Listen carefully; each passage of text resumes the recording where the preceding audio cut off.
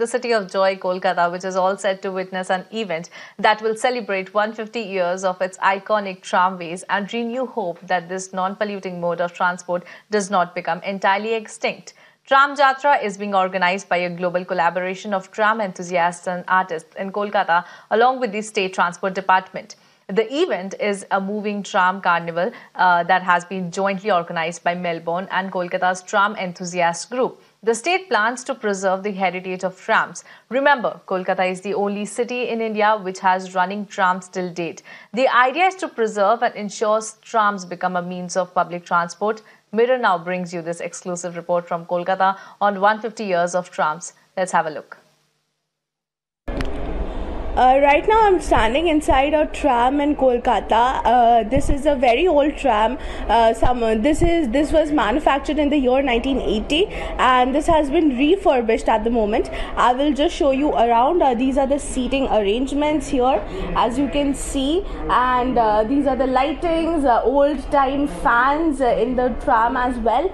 this is the entrance to the tram. These are the windows here, and of course, you can see certain uh, signs here which states that uh, smoking is prohibited inside and also beware of uh, pickpocketers.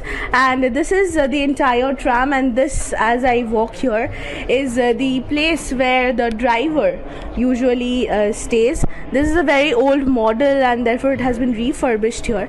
And these are the seating arrangements. We can also see you know certain seats reserved for the handicapped like it happens in any public transport. So today uh, the Kolkata tram turns 150 and in order to celebrate the 150 years of Kolkata tram, the State Transport Department have organized uh, a tram cafe. They are opening a tra tram cafe here in Kolkata to uh, refurbish uh, the spirit of tram, the spirit of Kolkata. Uh, now Kolkata is the only city in India which has running trams at the moment and one of the very few cities in Asia as well. So so, in order to keep running the trams on the streets of Kolkata, to refurbish it, to ensure that it doesn't die, uh, the tram cafe, the Tram World Cafe has been organized by the State Transport Department.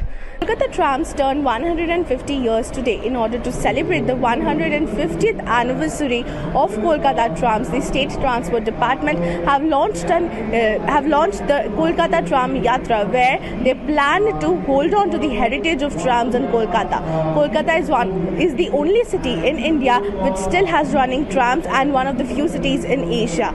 In order to ensure that the trams that are running on street be there and also to introduce more trams on the streets of Kolkata, this new initiative uh, Tram Yatra has been launched by the State Transport Department. The State Transport Department in the future also plans to bring in more routes as and when the traffic permits them. As of now, because of the metro work going on, uh, new routes cannot uh, the construction of new routes cannot uh, be started immediately, but in the future they plan to bring in more routes and um, bring in more trams on the streets of Kolkata so that trams uh, doesn't just remain an heritage but also become one of the means of public transport in Kolkata.